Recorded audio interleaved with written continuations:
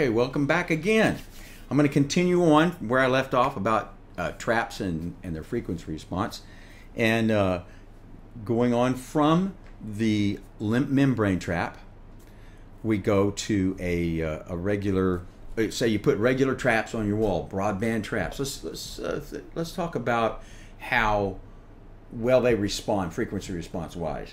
Um, back one point on the um, on the membrane traps, we've got basically uh, two inches of absorption on the fronts of them. Now, if you look at uh, how effective two inches is directly on zero degree incidence, uh, over here I'll show you on my Excel spreadsheet. We've got this. All right, let's go to, if you, you get my uh, Excel uh, let's see, what, what do I call it? Reflections, boundaries, and mass spreadsheet from my resources page. Guys, go to my resources page and download everything and take your time, go through it, and uh, occasionally look up, look for updates because I do update and put new stuff on there.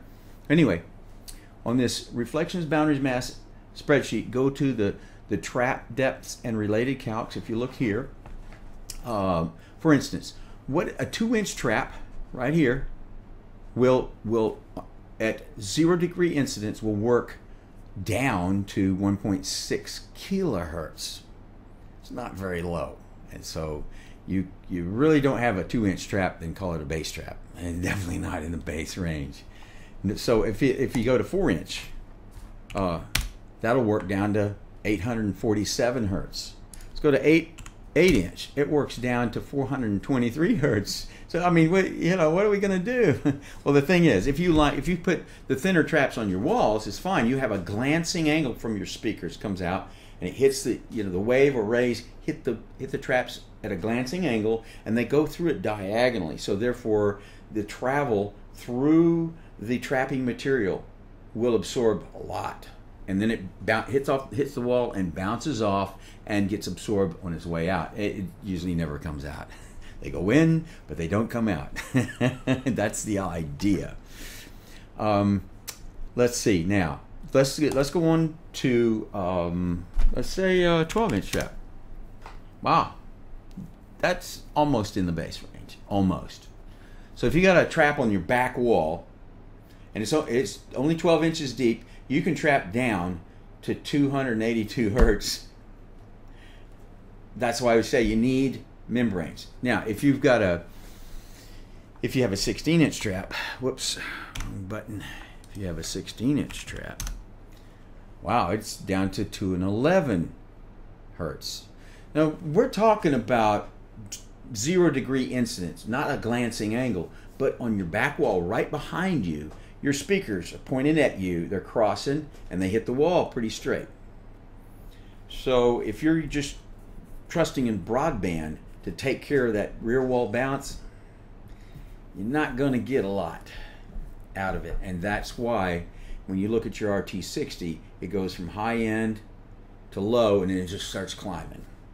That's what will happen. Now, if you have thin walls, if you have very thin uh, gypsum board walls, it's going to go right on out. It's not a not a problem there. So anyway, I got that two inch layer on that on the membrane traps. That gets me down to 1.6K, so I don't have any uh, uh, uh, dis distracting reflections from back there. So we're good. Anyway, so um, gosh, I've already gone about almost nine minutes on this one, and I got to keep it under 10. so uh, anyway, if you if you have a look over here again, we've got broadband traps here. These are typical broadband traps. They have a, a, a thin layer of rigid on the front and full, fill, filled with fluffy stuff. And if you look at the charts, it actually really performs down to where the quarter wave says it will. And you try different formulations with heavier stuff on the front or, or all full fill with heavy stuff, it it just doesn't perform as well. And can, and really is often very reflective at, at much depth. So I'm to continue this on the next one. And uh, let's talk again soon. I'll uh, subscribe and I'll